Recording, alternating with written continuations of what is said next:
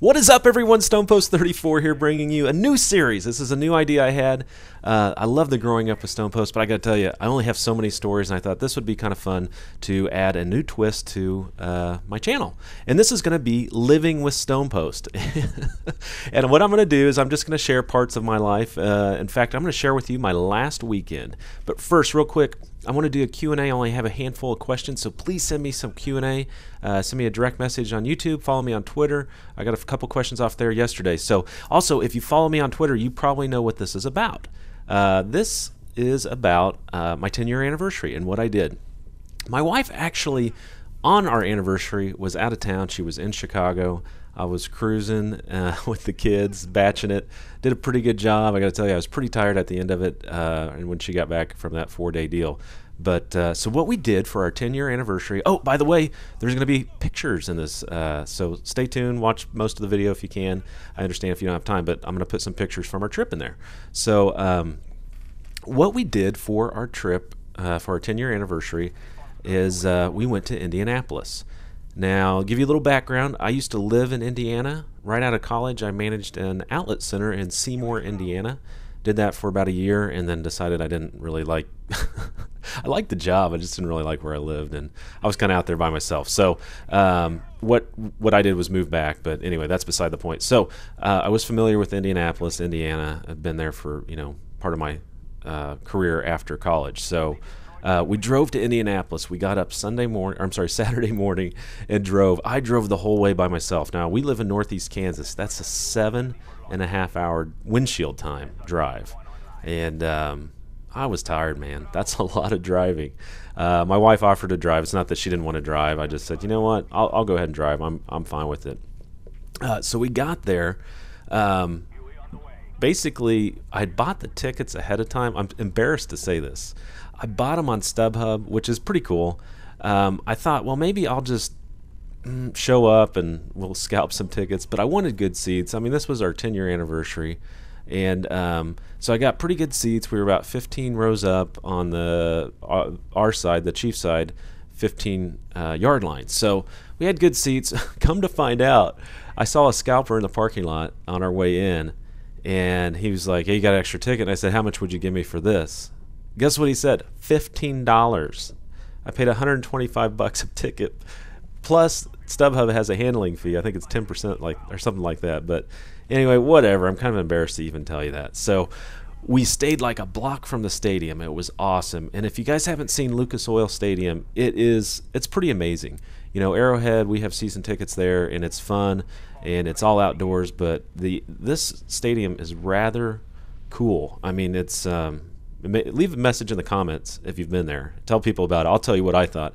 I mean, I think it was built uh, in 2009, if I remember right, and it's uh, it's got louvered doors on one side. It's got a retractable roof.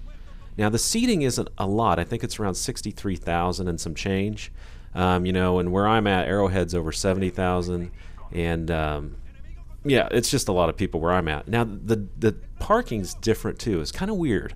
Now I don't want to I don't want to sound disparaging about this, but it is in a down it's south of the downtown business district, um, but it's still in a downtown kind of industrial setting.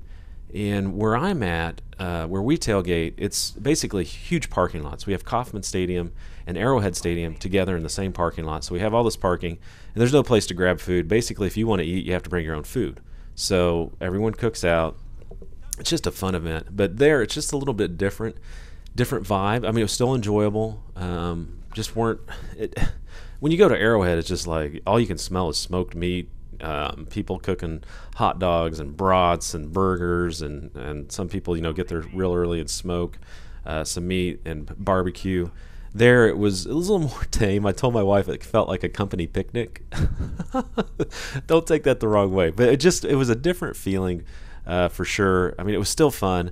But we were like a block away from the stadium, and um, which was nice because we didn't know anyone there to tailgate with. So we, you know, cruised around the stadium, and um, actually we had a, a, a, website came up to us, wanted to take our picture because we were the opposing team fans. 32loud.com. You look them up if you want to. Um, so we, then we just headed back to the room, chilled. It was kind of nice, you know, and. Uh, you're going to see a picture of my wife in here. This is Mrs. Stonepost. Been married 10 years, but uh, we had a great time. Now, the game started out rough. Now, the Chiefs went down. They went down early, and we're sitting there. I've got my hands between my head. Uh, or yeah, my head between my hands, and uh, I, I, couldn't believe it. I mean, I know we're bad, but I thought the Colts were worse. And uh, they went up strong on us with their new quarterback, and uh, well, their backup quarterback. He's not new, and uh, I thought, man, this is going to be a long game. Now I got to tell you, we you know we were in a, a hostile environment. We because because of the good seats we had, there were a lot of season ticket holders around us, and there was a guy behind us. Our punter kicked a punt, and it was a it wasn't a great punt. I think it was 35 yards. It was the very first punt of the game. And he's like, dude, your punter sucks. Well, he's talking to us because we're the only Chiefs fans around. I'm like, come on, dude. One punt punt you've seen this guy do in your entire life and you think he sucks. You know, just stuff like that. And, and my wife, here's the funny story. My wife, before we go, because I get pretty animated at home games, Chiefs games, I get excited. I mean, I figure if I'm going to be there, I got to cheer. And uh, my wife, ahead of time, she's like, now, Greg, uh, I know you get excited. Just just remember we're a guest, and I'm like, yeah, yeah, we'll be fine. I'll be fine. Don't worry about it. I know how to handle myself. I, I mean, I'm, I'm, excitable, but I'm not going to get out of hand. And uh, come to find out, guess who the problem was? it wasn't me. It was my wife. I had to pull her down a couple times when she's yelling first down, and uh, you know we're the only people yelling, and she she's like, yeah, come on, get him. and it was it was fine, and, and you got to understand this stadium. It's weird because where we're at. Um, it's it's so loud. I mean, you can yell something, and probably only about thirty people around you are going to hear it. There, you yell something. In fact, she did it when Jackie Battle came off the field. He had a great game. She, we were behind their bench. She goes, "Great job, Jackie! Great job!" He actually looked up. I'm like, I've never seen that at an Arrowhead at a Chiefs game. to me, that was pretty amazing. So uh, we had a great time. We we went down uh, early to the Colts, and we came back. I, am not bragging because our team's not good either, but um, we came back and we won the game. It was exciting right at the end, and then we went up. We got a we didn't talk to any Chiefs players. We got close to the field. That was kind of cool. And then um, one of the players' parents was behind us, so we got to talk to him. Uh, him and his mom, or him and his mom, his him and his wife, uh, and we got to talk to them and told them we're Chiefs fans. Obviously, we were there in red, so it was just a cool time. It was a lot of fun. I got to tell you, I have the coolest wife ever. Um, obviously, she lets me play video games and uh, obviously she likes football, so that's never been an issue. But um, yeah, just a great time, good 10 year anniversary, and um, I don't know, I, I, feel blessed to have all the opportunities I do and uh, have the wife that I do. So uh, basically, we we spent the night there Sunday, watched football back in the room, and just hung out, chilled, called the kids, missed the kids a ton, and um, we got up the next morning and we drove. And I got to tell you, you know, when you're so excited to get out and get to your destination, that drive just doesn't seem like a whole lot.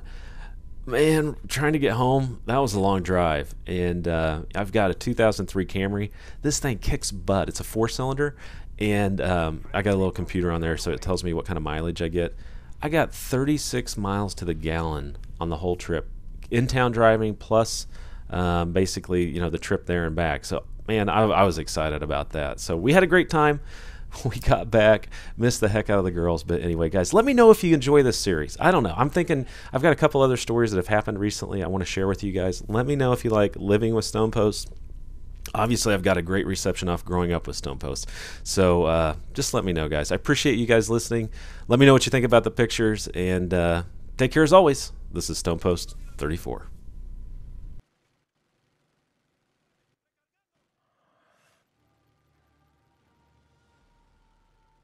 Is appreciated. Done.